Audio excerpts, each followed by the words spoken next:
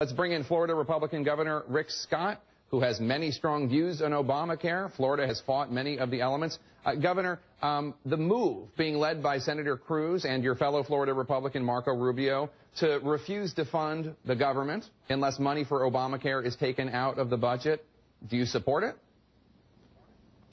Well, Jake, here, well, here's what we know. Obamacare is going to be cause a lot of problems. It's not a good law. Uh, I didn't support it. Uh, they're going to have to figure out how to make sure they replace it with something that improves quality, access, reduces the cost. Uh, so however they do that uh, is the right thing to do. Um, you know, it's uh, the federal Congress has got to figure out how to get that done. I hope it's done. My focus is on this privacy issues for our citizens in Florida.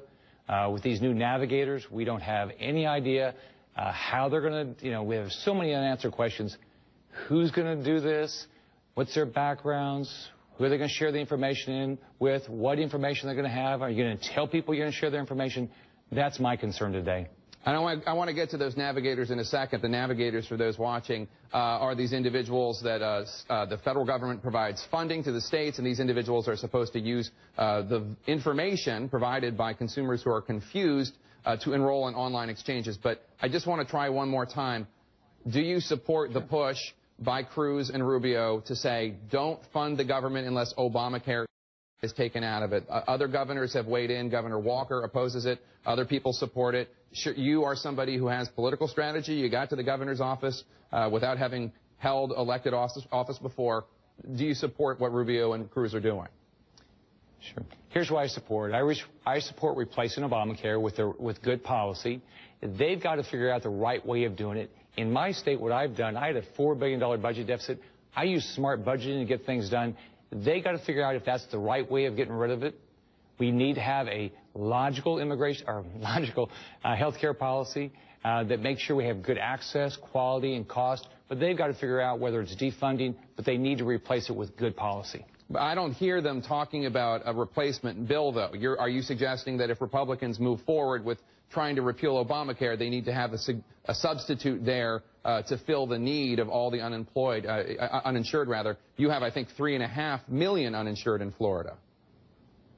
Well, we did, we did that in Florida. My first year in office, uh, 2011, we passed Medicaid reform uh, that would allow us to control our cost, but also give people good access and quality health care. We got the waivers done uh, this year, uh, and that's what we're doing. We're improving our Medicaid program for those, you know, those that can't afford their own health care. We need to have a positive policy. The policy with regard to the president's laws, let's replace it with what's good. Reduce the cost of health care, improve access, improve quality, give people, you know, you know, give the people the right to choose what type of health care they want. Give them the same tax breaks as employers. Reward them from good behavior. Don't smoke eat right, exercise. That's what we should be doing. Our Governor, we only have 30 seconds. But today, again, it's navigation. What, uh, today, today, we're talking about we're talking about privacy for our citizens of Florida.